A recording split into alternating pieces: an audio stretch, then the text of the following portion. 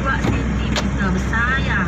Ah, Katanya, mari merupakan hari ketiga bunga terkembang dan dirakam bunga itu terletak kira-kira 1 cm dari laluan masuk ke denai. Menurutnya lagi, untuk bunga yang pertama dijumpai sejak kembang pada tahun 2021. Dan sekarang untuk pada tahun 2001, dia pernah jumpa Refusia berdiameter 90 Bagaimanapun, kawasan bunga tu tadi hanya sini buka kepada orang ramai sebabnya adalah tujuan penyelidikan sahaja. Acak bunga revisi atau oh,